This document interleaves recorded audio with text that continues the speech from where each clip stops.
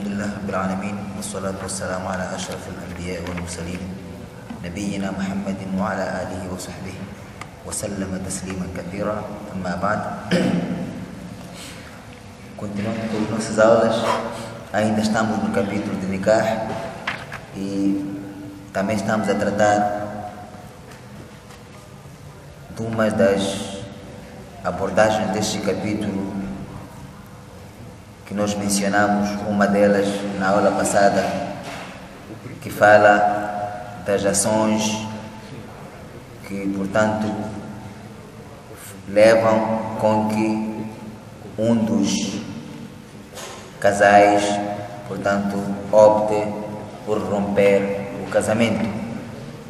Então, quais são as situações em que um dos casais pode ter a razão plasmada dentro do Sharia para o abandono ou o rompimento do matrimônio? E falamos que uma das ações ou uma das características que faz com que a pessoa goze a prerrogativa de romper com o casamento, falamos de uyub, falamos primeiro que é defeitos. Alguém, portanto, notar algum defeito no seu parceiro e nós tivemos a oportunidade de detalhar isto. E para hoje iremos na segunda característica que obriga, portanto, ou que dá a opção de um dos casais escolher entre divorciar-se ou manter o casamento. Segundo, vamos falar de khiyar al-ansar bis-sadaqi wal-nafaqa. Aqui, a característica que está mencionada neste mesmo capítulo, portanto, tem a ver com a incapacidade. A incapacidade, portanto, do homem pagar mahar e sustentar a sua própria esposa pagar, isto é, haver incapacidade da parte do noivo ou deste mesmo pretendente, deste esposo, de pagar o mahar da sua esposa ou mesmo de sustentar ela. Sustentar, estamos a falar de todas as necessidades em que, portanto, um casal, ou melhor dizer, um marido tem a obrigação dentro de sua casa ou do seu lar. Então, ele nem ter a capacidade de sustentar as necessidades, portanto, de sua casa. Aquelas básicas, estamos a falar daquelas básicas que têm a ver com vestuário, com alimento, lugar para, portanto, sua parceira e ele juntamente morarem. E também vamos falar de suadaq, que é mahar. O homem não ter a capacidade também de pagar mahar. Se isto pode fazer com que a mulher opte por deixar a ele ou dar a continuidade. É exatamente disso que nós vamos iniciar abordando neste capítulo. Dizer que neste capítulo de incapacidade do homem pagar o mahar, assim como dele tanto custear as despesas uh, básicas do lar, houve diversificação de opiniões. Há várias opiniões com relação a isto no seio dos juristas muçulmanos. Primeiro vamos começar com o mahar, o sadaq. واختلفوا في الأنصار بالصداق فكان الشافعي يقول تخير إذا لم يدخل بها وبه قال مالك. واختلف أصحابه في قدر التلون له فقيل ليس له في ذلك حد وقيل سنة وقيل سنتين. الدفرجنسي كي سورجي نسيو دو جونماج كون رلاسان أو وامي كي نونتين اكاباسيداد دي بغار مهر استوى نونتين اون فالور precioso para pagar mahar, e ele foi claro que eu não tenho, portanto, nenhum valor ou algo de valor que sirva de eu dar a si como mahar. Aqui, do princípio, já sabemos que esta mulher goza a prerrogativa de dar a continuidade ou não. Ela tem aqui a opção. Por mais que antes já venha, portanto, já venha acordado que, olha, ele fez o pedido, toda a família concordou, Mas no momento do mahar, o homem diz que eu não tenho. Não tenho capacidade para pagar o mahar. Então é isto que o Islã está nos explicar que a mulher aqui, ela goza prerrogativa, ou pode aceitar, continuar, ou contrair o matrimônio com este, ou não, ela diz que não, se não tens dinheiro para dar mahar, eu, portanto, não concordo, ou não aceito casar contigo. A diferença de opinião surge primeiro o Imam Shafi'i e Imam Malik a partilharem da mesma opinião, dizendo: Tuhayyaw idha mulher do biha. Diz que aqui a mulher só ela tem a opção de escolher se continua ou não se não mantiver relações conjugais com este mesmo homem. Que significa celebra-se o sunnato nikah depois de celebrar o Sunnat Nikah, então, naquele momento em que nós conhecemos, chamamos de lua de mel. Geralmente este é o nome mais famoso, Leila do Zafaf se o homem não mantiver contato com esta mulher naquela noite, aí já é que a mulher pode escolher aquele é o tempo que ela escolhe. Se ele mantiver o contato, aliás, é, portanto, ela tem a opção naquele momento, antes dele, fazer o quê? De manter relações conjugais com ela. É aquele momento que ela deve escolher ou continua ou não. Mas mesmo assim, os os Ashab Malik, assim como Ashab Shafi'i, divergiram-se, já que está-se a falar do é, o período que ela tem de escolher se pode dar continuidade ou não, é antes dele, portanto, manter o contato com ela. Então, qual é o período de tempo em que ela pode estar com ele, por exemplo, à espera com que ele consiga pagar o mahar, o que significa, este é como se ela continua, aceitou o homem, mas eles discutem que há periodicidade que deve-se observar isto. O que significa se no período até o período X, se este homem não paga o mahar, ela mesmo assim pode, portanto, optar por divórcio. Então, eles discutiram então qual é o período de tempo. Então, alguns dizem que não, não tem um tempo determinado. Ele não tem neste momento mas futuramente ele pode vir a conseguir alguma coisa. Então não tem um tempo determinado até ele conseguir alguma coisa que do mar que foi acordado.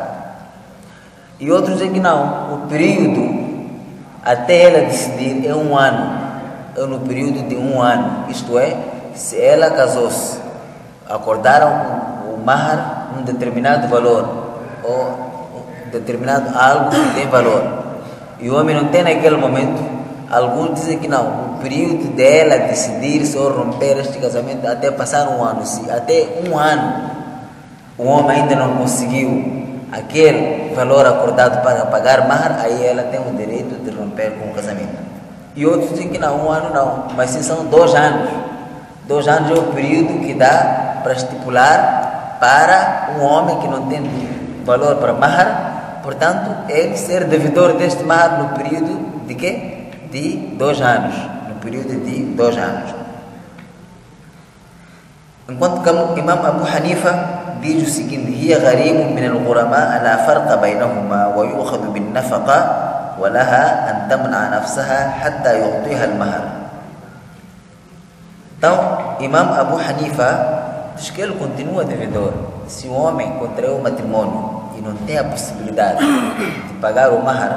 إل كونتينو دي فيدور اي إي دامير ما فورما إي كومو portanto, aquela pessoa que não tem a capacidade, isto é, quem não tem a capacidade de pagar o mahar, a, a mesma regra que se aplica nele é a mesma regra que se aplica naquele que não tem possibilidade de custear um lar. Portanto, ela pode celebrar ou pode contrair o matrimônio segundo, portanto, as regras do Sharia, mas ela deve proibir ou não deve aceitar manter relações conjugais com este homem até ele pagar o mahar dela. Este é Madhab Hanafi, diz que não, ela não pode negar logo. Não pode ficar o quanto tempo, mas não pode ceder a ele, manter o contato com ela até o homem pagar o quê? o mahar dela. Esta é a opinião de Imam Abu Hanifa. O que significa eles vivem juntos, ele continua com aqueles dois seus deveres de sustentar a casa, mas não vai manter o contato até pagar o mahar. Ele deve pagar primeiro, aí é que ele pode ter, portanto, esta permissão de deliciar-se dela. Então, qual é a causa desta divergência? تغليب شبه النكاح في ذلك بالبيع أو تغليب ضرر لاحق للمرأة في ذلك من عدم الوطن تشبيها بالإيلاء والعنة a divergência surge nisto porque تغليب شبه النكاح في ذلك بالبيع a divergência é que alguns comparam o nikah como um comércio, com um acordo comercial أو تغليب الضرر اللاحق للمرأة في ذلك من عدم الوطن e também outros aqueles que portanto esses que comparam com negócio são os Hanafiya dizem que não. Este mahar é compensação portanto daquele contacto que você vai mantendo com ela aquelas relações sexuais que você vai mantendo com ela. Então este é um valor simbólico como permissão, portanto, de você, portanto, uh, manter relações conjugais com ela. E os outros dizem que não. Você comparar, quer dizer, o, o contato que tens com esta, com esta mulher contra este matrimônio, com, com um contato comercial, com um acordo comercial, isto não tem enquadramento nenhum. Até você prejudica ela naquele momento ela sente-se prejudicada quando sabe que tem um homem, tem um esposo e ela não mantém contato com ele. Por isso, esta dificuldade que este homem tem não é eterna. Esperamos amanhã ter alguma coisa. Portanto, ele vai deliciando-se dela até quando ele conseguir. Agora, estar na mesma casa e comparar com um acordo comercial, enquanto estão na mesma casa, isto é prejudicar a ela. E estes e dizem que é como se estivesse, ela está a sofrer porque porque está já a fazer com que estás a comparar este homem que não tem possibilidade de pagar mar com o homem que sofre de impotência sexual. Então, ela sofre porque o homem não tem a capacidade de manter o contato com ela. Agora já imaginou você dizer que não deve pagar para permitir? Então, a divergência nas opiniões do João Lama surge aqui. E depois vem a divergência na incapacidade de custear, portanto, as despesas ou as necessidades básicas da casa. Imam Malik, Imam Shafi, Imam Ahmad, Imam Abu Thawr e Imam Ubaid e, e outro Jama'at Ahl Sunnah يفرق بينهما وهو مروي عن أبي هريرة وسعيد بن المسيب إيش إمام dizem se um homem contraiu um matrimônio e ele não tem a capacidade de custear as despesas da casa e dela, então deve se separar. Aí já o ali, o responsável, deve separar os dois. Por quê? Porque o homem não tem a capacidade de sustentar, não vai levar filha de dono para uma casa e começar a fazer sofrer.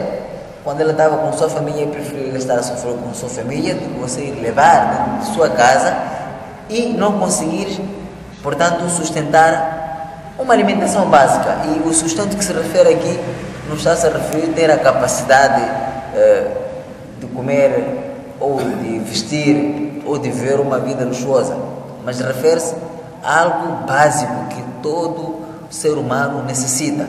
Então, você está com ela, tem dificuldade de pagar água, tem dificuldade de comprar energia, tem dificuldade de comprar comida.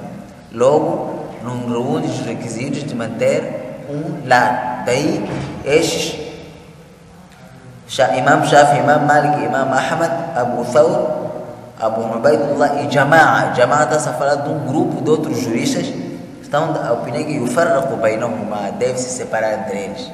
O que significa quem seguir a opinião destes álibos, que é Jumhur, estes já estão no grupo de Jumhur, que é a maior parte dos álibos, se ocorrer na sua família, hoje ele não vai pedir. É melhor entregar nossa filha, que tu não tens condições, portanto, para manter com ela. Aí já não faltam vozes nesta, nesta nossa era. Arrancaram porque não tem dinheiro, ali está à procura de uma família, de alguém que tem dinheiro. Mas eles seguiram o quê? Seguiram uma opinião da jurisprudência islâmica. E depois eles têm suas bases. Seguiram a opinião dos ulamás que tem suas bases, que a mulher não pode sofrer na mão alheia, não vai buscar a filha de dono para fazer sofrer. Então, quando isto ocorre no nosso seio, se você não compreende esta base islâmica, logo diz que não, viu? Aqueles ali só querem pessoas que têm dinheiro, mas não procuraram aprofundar se ele tinha capacidade para sustentar a sua esposa ou não. Portanto, estes estão desta opinião e esta opinião também é, é narrada através de Abi Huraira e Sa'id ibn Musayyib. Estamos a falar de Tabi'in e Tabi' Tabi'in e aqui também entram Sahabas, Abu Huraira e Sa'id ibn Musayyib também partilham da mesma opinião que se o homem não tem a capacidade de custear as despesas básicas, portanto, da sua casa, aí o que é que acontece? Deve se fazer uma separação. O que significa não pode esperar a mulher voluntariar-se dizer que não. Ou já não aguento. O pai pode ir, ou ali, ou o familiar pode dizer que é melhor nos entregar o quê? Nossa filha que não tem esta capacidade. وقال أبو حنيفة والثوري لا يفرق بينهما وبه قال أهل الظاهر إمام أبو حنيفة إمام الثوري estão de opinião que um homem que não tem a capacidade de sustentar o seu lar então não se pode separar. Isto é, esta separação que estamos a falar aqui não é, quer dizer, não é uma a motivação não é voluntária, não é, portanto, iniciativa por parte da mulher. Mas está a dizer que nesta opinião a família pode ir fazer o quê? Ir buscar a filha dela. Então Imam Hanifa e Imam Thawr estão da opinião que não se pode separar a ela. Isto é, deve ser vontade da mulher, ela é que tem que manifestar a sua vontade. Então, por que é que divergiram-se no homem que não tem a capacidade de custear as necessidades de sua casa? Por que, é que há esta divergência no seu destes juristas? A causa da divergência تشبيه الضرر الواقع في ذلك بالضرر الواقع من الغنى então, aqui os ulamás, estes que impediram, aliás, que proíbem ou que permitem a família ir buscar a, a filha, ele está a fazer uma comparação. O prejuízo que esta mulher está tendo naquele lar onde o homem não tem a capacidade de custear, portanto, as necessidades básicas, ela está sendo prejudicada, sendo-se prejudicada. Então, o prejuízo que ela está tendo ali, eles compararam com o mesmo prejuízo que ela está tendo quando o homem ou quando o esposo é impotente sexual. Então, diz, da mesma forma que ela sofre quando tem um marido que sofre de impotência sexual, é da mesma maneira que ela sofre ali. Não come, não consegue preencher aquelas necessidades da mulher, logo pensativa, e isto é prejudicial, porque estar constantemente a pensar no prejuízo que ela está a passar cria mais outros prejuízos em termos de saúde. لأن الجمهور على القول بالتغيير على العنين حتى لقد قال إبن المنذر إنه إجماع وربما قالوا النفقة في مقابلة الاستماع بدليل أن الناشز لا نفقة لها عند الجمهور فإذا لم يجد النفقة سقط الاستمتاع فوجب الخيار. eles também dizem que o Jumhur está de opinião بالتطريق على العنين. Nesta comparação que fizeram o sofrimento que ela tem dentro do lar é como ou é o mesmo sofrimento que tem quando o homem é impotente.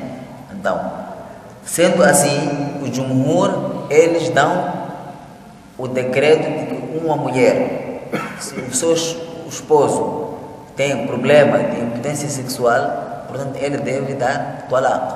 Não pode manter ela a sofrer.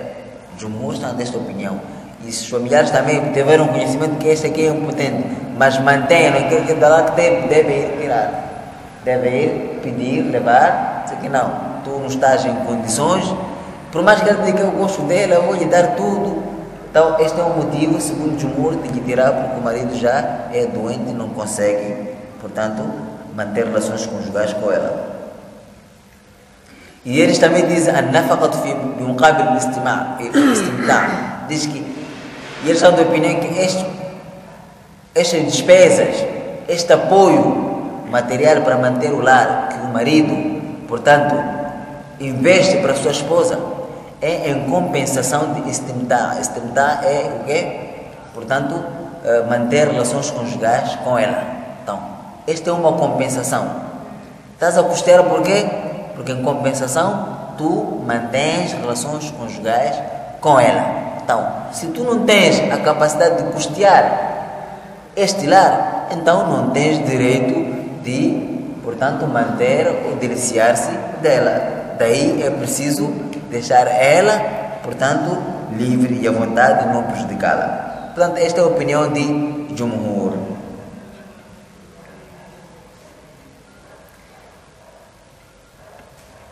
Da mesma forma, eles dizem que nasce a mulher, portanto, que pratica adultério ou fornicação fora, ela, tu não tens que custear a ela. Uma mulher, você tem sua esposa, ela é adúltera, é? ela sai, vai fora, praticar fora, então não tens obrigação de custear a ela, porque esta ação dela já desonra o próprio lar. Então, sendo assim, se você não tem a capacidade de custear, logo ela tem a opção de abandonar o lar, não vai ficar lá a sofrer, portanto, porque ela ama o marido.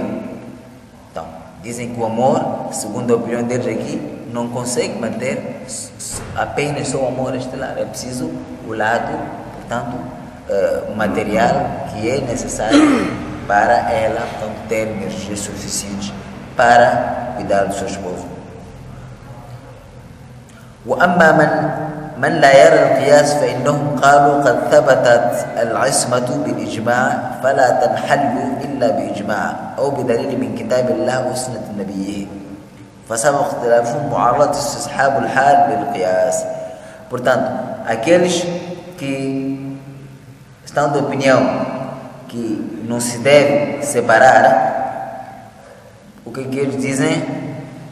قد ثبتت العصمة بالإجماع فلا تنحل إلا بإجماع أو بدليل من كتاب الله وسنة نبيه Dizem que, olha, esta analogia não cola para isto. Porque esta situação de separar é preciso que tenha uma base do Coran e do Sunnah.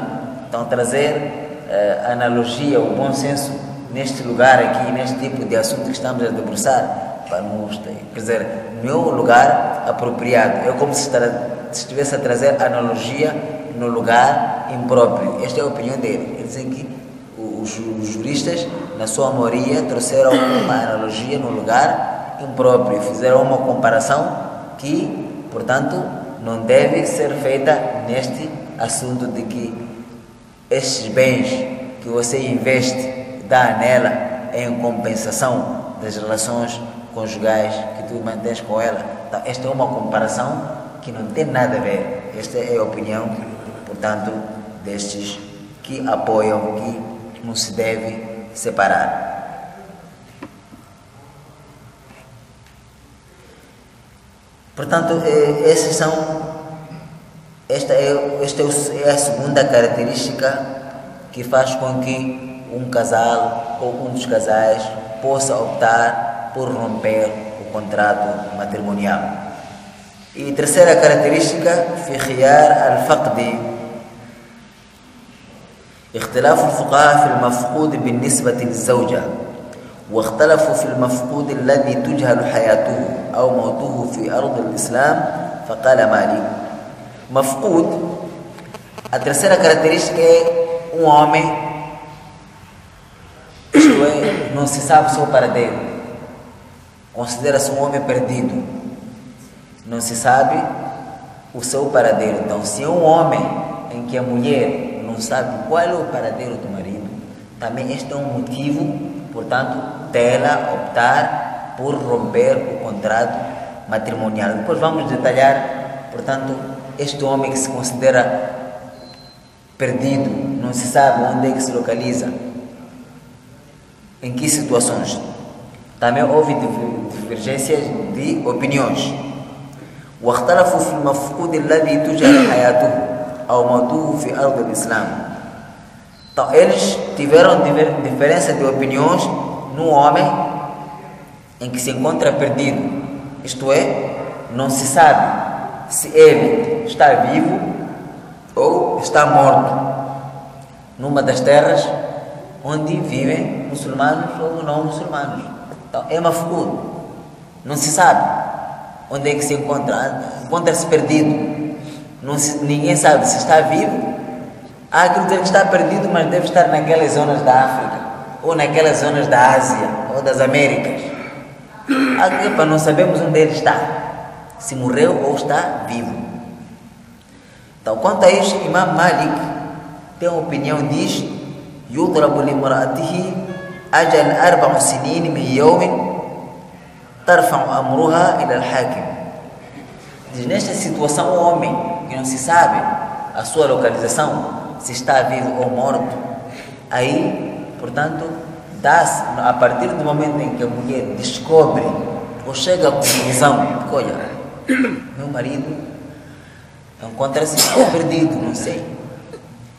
Se é um país islâmico ou não islâmico, depois de comunicar as instituições os familiares tomaram conhecimento a partir do momento em que se desperta a coisa. olha, este homem encontra-se perdido, não sabemos se está vivo ou não. Para a opinião de Imam Malik, diz a partir daí a mulher, portanto, deve observar quatro anos. Ela deve observar quatro anos depois, Fainandá, الكشف عن حياته أو موته فجهل ذلك ضرب لها الحاكم من أجله فإذا انتهى اعتدت عدة الوفاة أربعة أشهر وعشرة وحلت diz se for um país islâmico depois de comunicar oficialmente da, do desaparecimento portanto do seu marido então quando alguém desaparece e não sabemos se está vivo ou morto Imam Malik diz não aí a mulher a partir do momento em que ela participa este assunto se um Estado Islâmico, um país islâmico, comunica às instâncias uh, da, da, da, justiça ou da lei e ordem, comunica que, olha, eu, meu marido desapareceu. Não sei se ele está vivo ou está morto. Então, a partir daí ela começa a contar quatro anos. Se no período de quatro anos ele não volta, ela, portanto, depois de terminar este período, que depois dela, desta contagem de quatro anos, comunica de novo às autoridades, daí a autoridade, portanto, se cabe a ela se dá mais um tempo de espera ou não. Caso não, a partir daí, por exemplo, num país deste no islâmico, depois dos quatro anos, ela é que vê, olha, dá para dar mais um tempo. Se não dá, o que é que faz? Segundo a opinião de Imam Malik, ela observa a idda, observa o período do idda, do mesmo que Portanto, eu, uma viúva observa o seu esposo, que são quatro meses e dez dias. Isto é, passaram os quatro anos, segundo a opinião de Imam Malik. Depois destes quatro anos, não apareceu, não se sabe, não houve nenhuma notícia que diz morreu ou continua vivo, mas ela ainda desaparecida. Aí ela logo decreta o Idda, observa o Idda no período, portanto, de quatro meses e dez dias, que é o período de espera ou do idda de uma mulher ou de uma viúva. Isto é, quando falece o seu esposo. Quatro meses e dez dias. A partir daí ela está halal, isto é, está livre. Pode contrair o matrimônio com outro homem. Pode contrair o nikah, o matrimônio com outro homem. Esta é a opinião, portanto, do Imam Malik quanto à sua posição de um homem desaparecido que não sabemos se continua vivo ou está morto. Mal mafqud. E o mesmo imam está a falar dos bens, tentou aproveitar também falar dos bens deste desaparecido. Acontece que ele desaparece. Nós já sabemos se morre, ele deixa herança. Sua esposa, seus filhos, seus familiares, de acordo com o grau de parentesco. Sabemos que deixa herança. Agora ele está, quer dizer, encontra-se desaparecido. Não sabemos onde se encontra este homem. Então, se ele deixou bens, Quanto à sua esposa, já sabemos qual é a posição de Imam Malik, o que deve ser feito. Agora, os seus bens, vamos dizer que é uma herança ou não? Como é que podemos fazer? Qual é a posição que o Imam Malik tem aqui? Diz: قال وأما ماله فلا يورث حتى يأتي عليه من الزمان ما يعلم أن المفقود لا يعيش إلى مثله غالبا. Então, Imam Malik diz isso tem a ver com sua esposa, para não prejudicar a ela. Quatro anos sem saber aí já ela está livre. Isto não se aplica já nos seus bens. Isto aplica-se na sua mulher e ela futura outra vida. Agora, nos seus bens, não. Logo não pode vir que ah, vamos lá começar um terço, um quarto, metade. Ah? Não. Porque ele diz فلا يورث حتى يأتي عليه زمان ما يعلم أن المفقود لا يعيش إلى مثله غالبا diz os seus bens não são distribuídos como herança até dar-se um tempo em que todos terão a mesma opinião de que olha, este tempo aqui que se viveu não é possível ele viver a partir do tempo que nós perdemos este homem, desapareceu da sua de comunicar conosco. Não é possível ele viver. Ele já morreu, não é possível ele estar vivo. A partir daí é que se distribui. Então, que período é este em que nós podemos, portanto, delimitar que, olha, aqui ele não está vivo? É quando diz, Faquila Sabihun, são 70 anos. A partir do momento em que ele desaparece, devem passar 70 anos para se distribuir os seus bens. Esta é a opinião de Imam Malik. E outros seguidores deste madhab dizem Wakila Tamanun. Os outros dizem que não. 70 anos não é pouco. 80 anos do seu desaparecimento. Wakila Tisun. Os outros dizem que não. 90 anos. Então, se no período de 90 anos, os outros 70 anos desde o seu desaparecimento, aí pode se distribuir, se dividir, portanto, seus bens. وقيل مئة في من غاب وهو دون هذه الأسنان وروي هذا القول عن عمر بن الخطاب وهو مروي أيضا عن عثمان وبه قال الليل E outros dizem مئة في من غاب diz aquele que desaparece calcula-se o tempo de distribuição de seus bens 100 anos essa é a opinião dos outros não devem passar 100 anos do seu desaparecimento وروي هذا القول عن ابن عمر بن الخطاب Tanto, esta é uma das opiniões também de Umar ibn Khattab e Uthman e Al-Layth. Enquanto que Imam Al-Shafi'i, Imam Abu Hanifa e Imam Al-Thawri, eles falam do, de alguém desaparecido a respeito dos seus bens, dizem لا تحل امرأة امرأة المفقود حتى يصح موته وقولهم مروين علي وابن مسعود Então, Imam Shafi e Abu Hanifa dizem que não é halal um outro homem contrair matrimônio com a esposa de um desaparecido até que se concretize o seu desaparecimento físico, a sua morte. O que significa, se é alguém desaparecido, na opinião de Imam Shafi e Abu Hanifa e Imam Thawri, ela não pode ficar halal ou não pode se casar com um outro homem até haver a certeza de que este já morreu. E esta opinião deles, دش دوج امام جينا راتو امام علي بن ابي طالب ابن مسعود قال يا كوزا دو ديفيرجنسيا دش دوج امام دش دش تريج امام تبدا فلان دي امام مالك امام ابو حنيفه الشافعي الثوري وسبب اختلافهم معارضه استصحاب الحال للقياس وذلك ان استصحاب الحال يجب ان لا تنحل عصمه الا بموت أو طلاق حتى يدل الدليل على غير ذلك.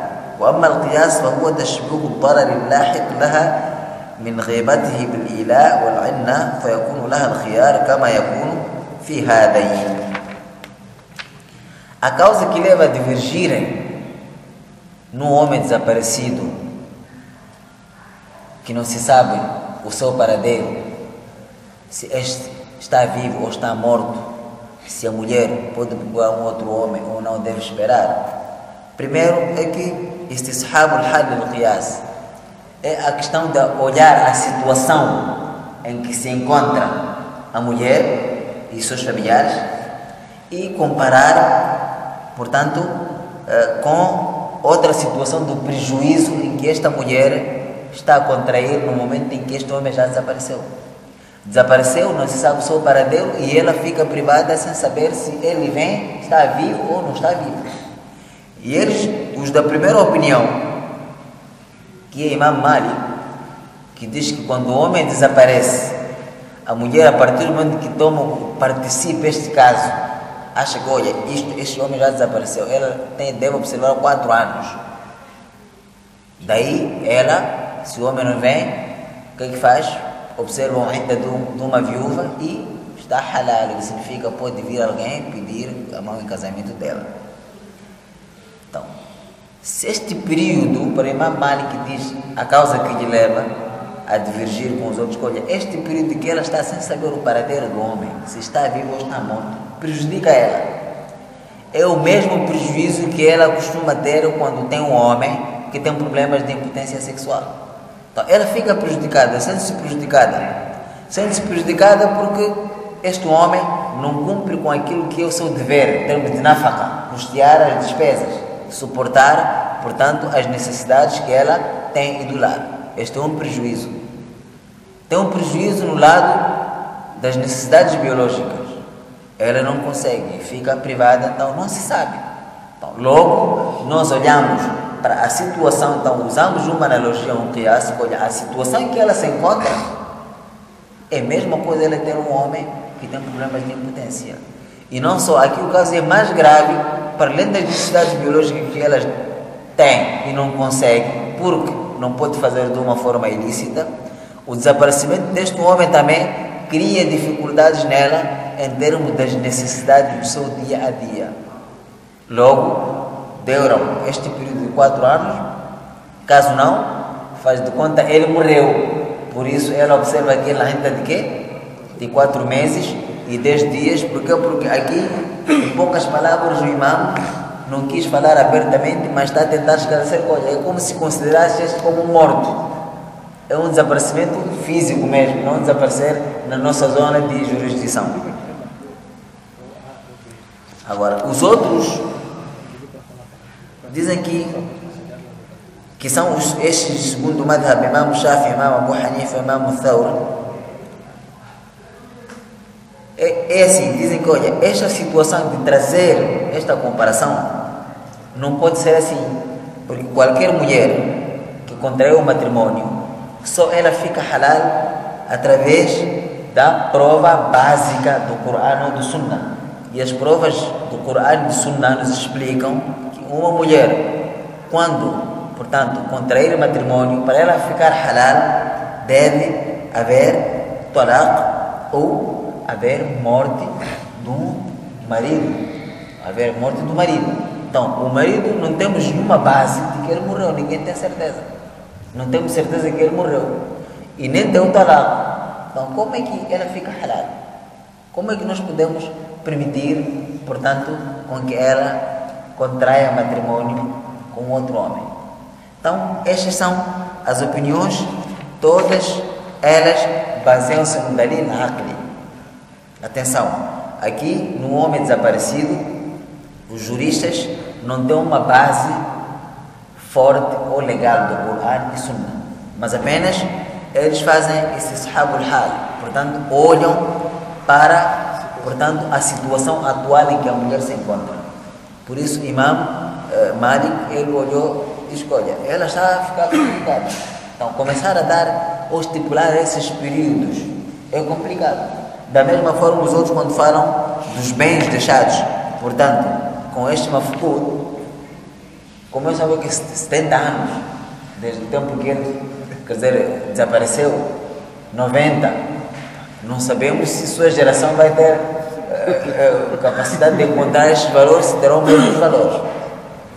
Portanto, isto é o que tem a ver com a diversificação de opiniões da situação de uma mulher em que o seu esposo encontra-se desaparecido e não se sabe se está vivo ou não. Estas são as opiniões, portanto, dos imãs. E de seguida diz Al-Mafqud, Al-Mafqudun Asunafun Arba. Diz os desaparecidos dividem-se ou classificam-se em quatro tipos ou quatro formas. Aqui já isto vem tentar nos fazer perceber, portanto, eh, no caso de cada desaparecimento, para nos ajudar como vamos nos posicionar. Primeiro, diz que são quatro tipos ou quatro características, segundo os juristas classificam, que nós devemos observar quando se trata de um desaparecido.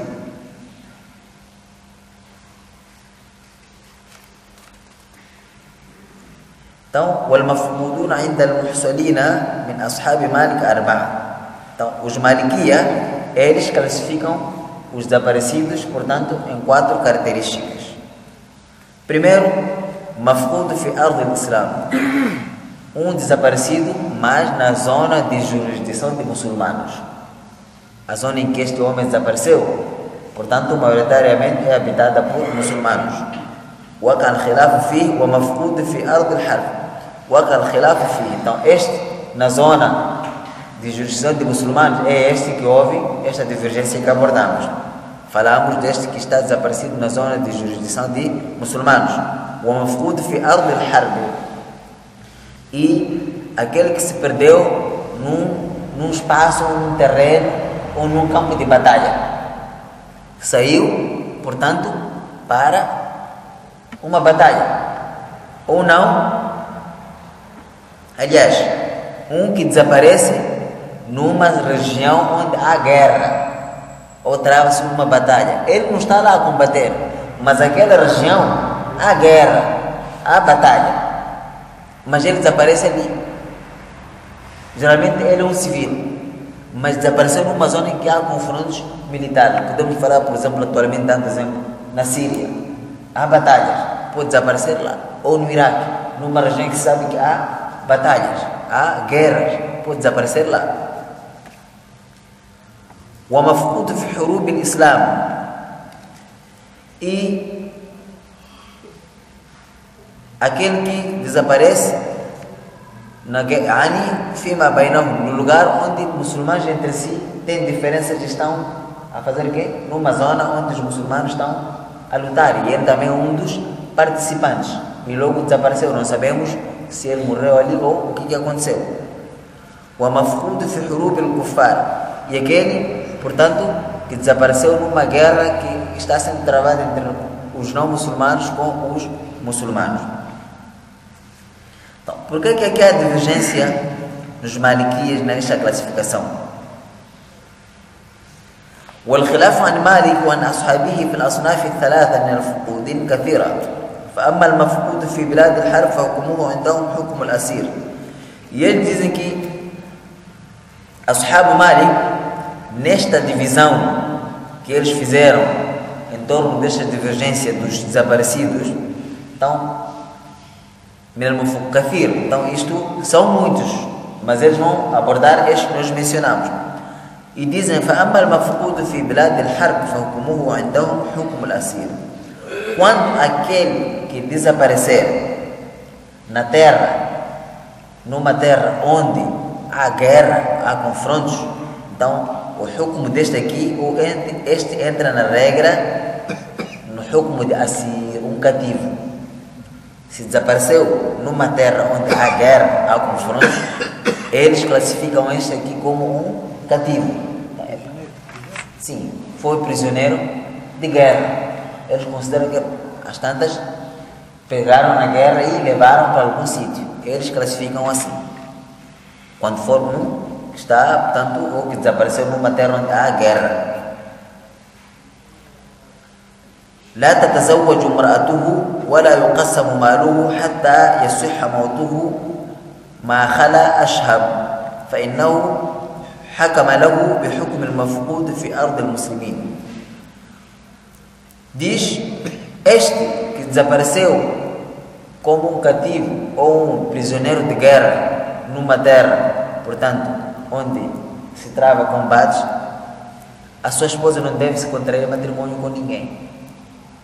Não pode se casar com um outro homem, nem seus bens devem ser, não podem ser também distribuídos nos seus familiares, até confirmar-se a sua morte.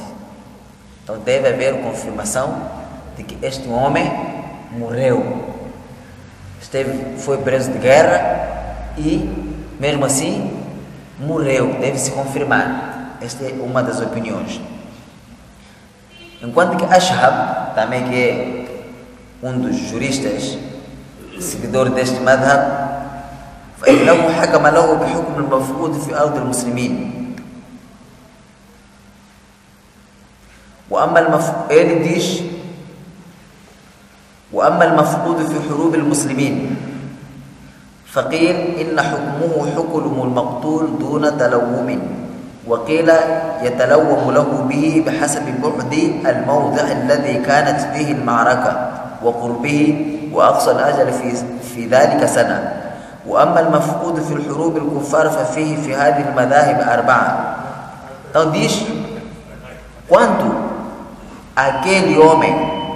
que for a desaparecer na guerra entre muçulmanos, aquela diferença que existe entre grupos ou seitas muçulmanas, se desaparecer naquela guerra, فإن حكمه حكم المقتول, então este considera-se, portanto, um morto.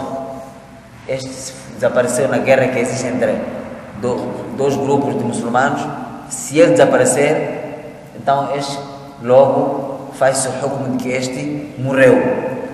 وقيل يتلوم لومه به بحسب بعد الموضع الذي كانت فيه المعركة وقربه وأقصى الأجل في ذلك سنة. Então diz que observa-se, procura-se naquela zona onde estava a ocorrer o combate, mais tarde depois de acalmar, e dá-se um tempo máximo de espera de um ano, o que significa considera-se morto, mas dá-se um período de um ano. se passar um ano sem aparecer, mesmo que não recebam uma confirmação, aí sua esposa considera-se livre, que significa ela pode fazer um idda, que observa uma viúva, e aí pode se casar com outro homem. E eles, portanto, disseram: "Amma al-mafqud fi al-hurub al-kuffar fa fi fi al-madahib arba'at aqwal". Agora, quando aquele desaparecido na guerra que está sendo travada entre muçulmanos e cáfires, então há quatro opiniões dos madahibs de um desaparecido na guerra que está sendo travada entre muçulmanos e não muçulmanos. Há quatro opiniões dos madahibs. Hukmuhu hukmul asir. Primeiro, se ele desaparecer, considera-se um prisioneiro de guerra. A primeira opinião considera que ele é um prisioneiro de guerra. وقيل حكمه حكم المقتول بعد تلون سنة إلا أن يكون بموضع لا يخفى أمره فيحكم له بحكم المفقود في الحروب المسلمين وفتنهم Então, a segunda opinião diz حكمه حكم المقتول Diz este considera-se um, uma pessoa que já foi morta, já foi assassinada mas é preciso dar um tempo para cumprir com este decreto o período de um, um ano. Considera-se uma pessoa já morta, mas ela não pode se casar só depois de observar o que? Um ano. Aí é que ela observa o idda de quatro meses e dez dias e pode se contrair ou pode se casar com outro homem. والقول الثالث أن حكمه حكم المفقود في بلاد المسلمين. E os outros que não, eles consideram que este é como se tivesse perdido ou desaparecido no país de quem? Ou na terra de muçulmanos. والرابع حكمه حكم المقتول في زوجته وحكم المفقود في أرض المسلمين في ماله يعني يعمر وحينئذ يورث A quarta opinião diz que, olha, este aqui que desapareceu considera-se, portanto, um falecido. Logo, sua esposa é viúva. Ela observa aquele idda depois de observar o Ita, se deixou bens, devem, portanto, serem distribuídos como herança de pessoas mais, portanto, que têm o direito, pessoas legítimas, de herdar deste falecido. Portanto, estas são as opiniões que estão a ocorrer, que partem do princípio de Imam Malik. Porque Imam Malik, ele é que decretou que se um homem desapareceu e a mulher não sabe onde é que se localiza, se está vivo ou está morto. Imam Malik diz que deve-se esperar quatro anos. A mulher espera quatro anos. Quando passam estes quatro anos, sem nenhum sinal de confirmação da sua morte ou da sua vida, ela faz idda. Ele diz neste período, faz o hukm al-aghlabi de que ele já morreu e faz o idda, cumpre-se com o período de espera daquela viúva, que são quatro meses e dez dias. Mas também surgiu diversificação do tempo de espera no seio de outros seguidores destes madhabs, no que diz respeito aos seus bens. O madhab Malik divergiu nos bens deixados, portanto, deste falecido. Diz que não, não se pode herdar deste falecido, por quê? Porque nós só apenas permitimos porque esta mulher está a sofrer. Esta mulher, neste, neste momento, ela está a sofrer. Não tem, portanto, alguém que está a custear as suas despesas e fica privada de sua vida normal porque tem esperado por alguém que não se sabe se está vivo ou morto. Por isso, Imam diz que aqui, quatro anos é suficiente para ela estar livre e manter o casamento, mas seus bens não. Os seus bens não estão, os seus bens não estão a sofrer. Continuam a cuidar dos seus bens. Os seus bens continua alguém a cuidar. Se é negócio, alguém tem que tomar conta, o negócio continuar, portanto, a crescer. Mas a distribuição das sucessões como herança, aí, stop. Aqui já não entra. O que é que tem que ser? É quando alguns deste mais dizem que não. A partir do tempo em que ele desapareceu, devemos observar 70 anos. Se no período de 60 anos não veio, aí consideramos que morreu, então podemos distribuir os seus bens para os legítimos herdeiros. Os outros que não, 70 é pouco, tem que ser 80. 80 é pouco, tem que ser 90, até chegou no 100. Mas aí está outras gerações que não vão encontrar. Portanto, a causa da divergência que ocorre no homem desaparecido é porque não tem uma base legal do Corão e do Sunnah. Por isso, os seguidores de Imam Abu Hanifa, Imam Shafi, Imam Thauri disseram que não, aqui não tendo base legal do Corão e do Sunnah, nós não podemos dizer que o nikah ou a mulher fica halal ou livre do casamento deste homem, porque não temos uma base. E a base que o Corão nos ensina, assim como o Sunnah, é que o nikah fica, portanto, a mulher fica livre do nikah através de talaq ou através da morte do seu esposo. Aqui ninguém tem a confirmação de que este homem morreu, o que significa a probabilidade de ele estar num outro continente a viver lá, ter dificuldades da comunicação com seus familiares, mas ele enquanto está vivo. Portanto, aqui ocorre o uso do bom senso no que diz respeito, portanto, a um homem desaparecido. Aqui ocorre, portanto, o uso do bom senso nos ulamás a respeito daquele homem, portanto, desaparecido, qual é o seu hukm, o que é que nós devemos pôr em consideração, se ele morreu ou ele, portanto, continua vivo. E neste capítulo, uh, os que mais tentaram debruçar-se a respeito do perdido ou do desaparecido são os maliquitas.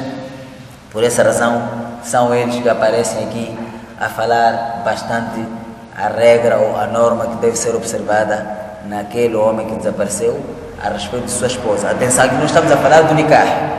Aqui o capítulo não foge do nikah. Falou-se de um desaparecido, e isso também havemos falar de um desaparecido quando entramos no capítulo de herança e sucessões.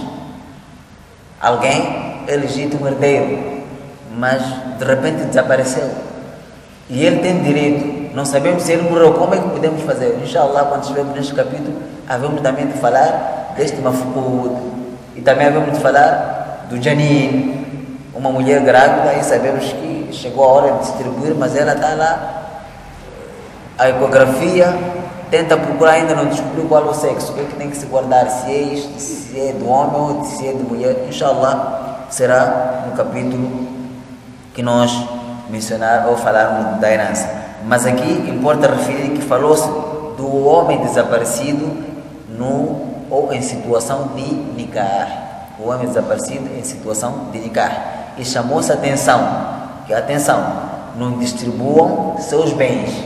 Por quê? Porque existem regras de, de, de sucessões ou da sua distribuição de sucessão quando estivemos a abordar no mirar, na herança. Logo, aqui ele chamou a atenção olha, aqui estamos a falar de casamento, então não distribuam os seus bens. Então, como é que se distribui os seus bens?